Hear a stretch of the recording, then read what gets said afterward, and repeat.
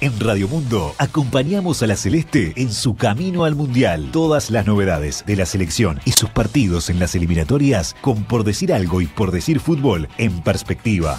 Presentan Rimax Focus, desde hace ocho años la empresa inmobiliaria más importante del país. Y Juan Construye, un lugar para todos tus lugares, ahora con 25% off en todo.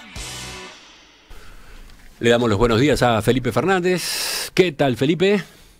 Buenos días por ahí, ¿cómo andamos? Bien.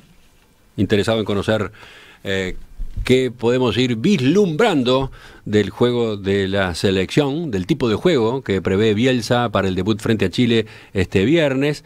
Eh, ayer paró un equipo, ¿no? Eh, ¿Tenés datos de eso?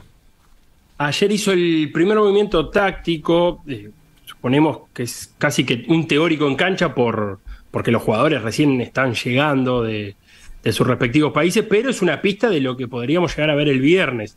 Lo que sabemos es que trabajó sin arqueros, que los arqueros trabajaron aparte, de, la mano de Nicola, pero ahí hay pocas dudas. Sería toda una sorpresa que no ataje Roget.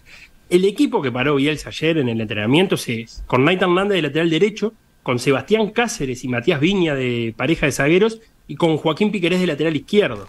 Luego los volantes Valverde, Ugarte y De la Cruz. Y los delanteros Pelistri, Darwin Núñez y Maxi Araujo.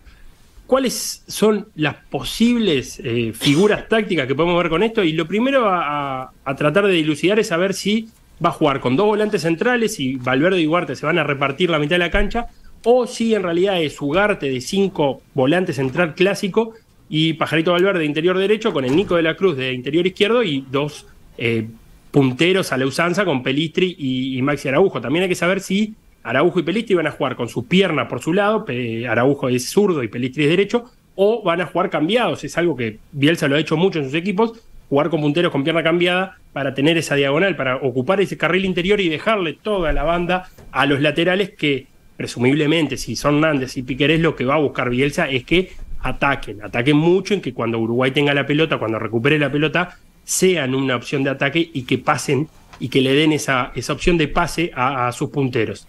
Eso es lo que sabemos hasta ahora y lo que podemos empezar a, dilucidar con respecto a cómo va a jugar Uruguay el viernes. ¿Qué pasa con, Nández, concretamente?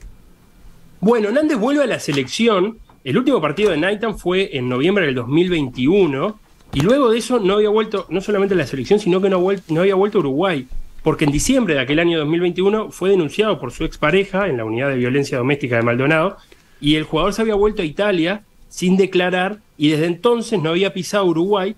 Él siempre sostuvo que los hechos por los cuales lo habían denunciado eran falsos e incluso la madre de Nathan Hernández denunció a su ex nuera por simulación de delito, pero el mes pasado llegó a un acuerdo con su expareja y el caso fue archivado. Eso es lo que le permite volver a, a, Nathan Nández con, tranquilidad a, Uruguay. Y era por lo que se había alejado de la selección, no eran motivos deportivos los que no tenían a Nández como, como uno de los convocados. Bueno, y en cuanto a la televisación, ¿qué datos puedes aportarle a los oyentes? Porque eso siempre está como curiosidad y ansiedad. Es todo un tema ese y hay que esperar para más información. Lo que sabemos hasta ahora es que AUF TV lo va a transmitir y que tiene un costo de 10 dólares el partido se puede contratar entrando a la plataforma de TV, que DirecTV también llegó a un arreglo para transmitirlo y hasta ahí es lo que se sabe. Hoy hay una reunión clave entre los cables operadores y los que negocian por parte de la AUF para saber si el partido va a llegar por los cables del país. Ah, bueno, bueno. Estamos bien cerca de la fecha y todavía con estas incógnitas. Sí, sí, es algo que eh, la nueva dirección de la AUF eh, lo ha tratado así con los partidos de la selección son más negociados que, los habituales. Insisto en el dato, quienes lo compren por AUTV es simplemente para comprar el partido Uruguay-Chile. Uruguay-Ecuador ya será otro cantar. Hmm. ¿Y la televisión abierta? Porque esa, en definitiva es la gran pregunta. ¿Estará la opción de la televisión abierta? ¿Puede estar? Y yo creo que dependerá mucho de la reunión que tengan hoy con los cable operadores. Eh, por ahora no es una opción y no está arriba de la mesa y no parece que hubiera eh, el suficiente avance como para que la televisación abierta pudiera transmitir el partido de Uruguay el viernes. Felipe, cambiamos de deporte, seguimos con la camiseta celeste puesta, pero ahora nos vamos aclimatando en materia de rugby. Contanos, ¿qué está pasando en Francia?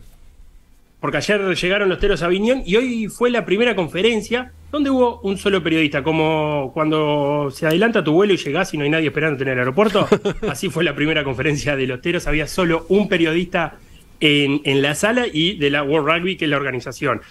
Pero algo dijeron, el subcapitán Santiago Chiveta dijo que los teros llegan mucho mejor preparados para el Mundial 2019 porque los jugadores que se sumaron llegan del rugby profesional y también el DT Meneses definió que el partido contra Francia va a ser todo ganancia porque el objetivo de Uruguay es preparar los partidos con Italia y Namibia. Si están interesados en seguir a los teros, recomiendo la cobertura que está haciendo el colega Ignacio Chanz, que, le está haciendo el minuto a minuto de los teros en Francia. ¿Dónde? ¿Dónde? A ver. En Twitter, búsquenlo así, Ignacio Chanz en, en, Twitter y se van enterando de estas perlitas como, como que no había nadie en la conferencia de prensa de los teros.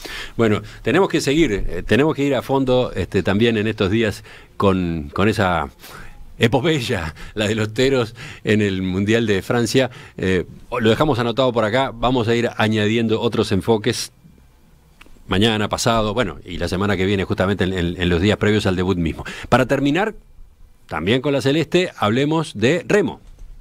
Sí, porque compitieron los dos barcos que quedaban sobreviviendo en el Mundial de Belgrado. Bruno Chetraro salió sexto en su serie en cuarto de final y no pudo avanzar a las semis. Y recién hace minutos la estaba viendo en la regata que tenía al doble par ligero de Kluber y López. Pelearon hasta el final, pero quedaron cuartos, clasificaban tres muy cerca de los neozelandeses, que fueron los terceros, y tampoco pudieron avanzar a semis. La próxima competencia importante es el preolímpico continental en Río de Janeiro, que va a ser el próximo marzo. Felipe, nos quedamos por acá. Mañana nos reencontramos entre 8 y 8 y media de nuevo, ¿te parece? Me parece, y para ahondar en, en el pase del momento que Fito Garcés yendo a jugar a Juanicó. Eh, nos llegó a nuestra mesa de trabajo la posibilidad de transmitir el evento. Ah, bueno, bueno. Primero transmitan, primero transmitan el, Uruguay-Chile de este viernes, todo un hito, todo un hito acá en, Radio Mundo. Y bueno, y con ese calentamiento, con esa preparación, con ese eh, entrenamiento, capaz que después pueden transmitir el partido de Fito ahí, en Juanicó. En el, en el propio Juanicó, me parece una gran propuesta de trabajo. ¿Sí? ¿Lo están pensando? Eh, y si eh, coincide con el Festival del Vino y la Empanada, me parece que puede redondear una buena propuesta. Los oyentes no deben entender nada. Si, si no escucharon el final de la tertulia de ayer, la mesa de análisis político, no entienden nada de esto, los invito a que vayan y busquen ese archivo. Gracias, Felipe. Hasta mañana.